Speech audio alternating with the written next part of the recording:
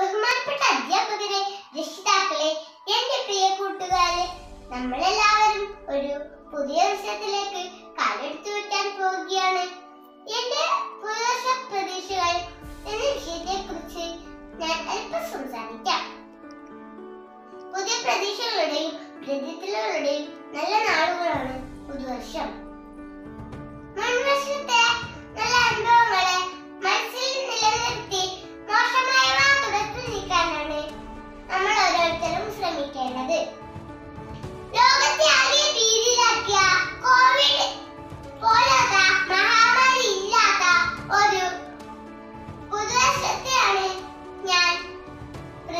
പ്രതീക്ഷിക്കുന്നത് സന്തോഷത്തിന്റെയും സമാധാനത്തിന്റെയും ഐശ്വര്യത്തിന്റെയും പ്രതീക്ഷയുടെയും ഒരു നവവത്സരം ഞാൻ എല്ലാവർക്കും ആശംസിച്ചുകൊണ്ട് ഞാൻ എന്റെ വാക്കുകൾ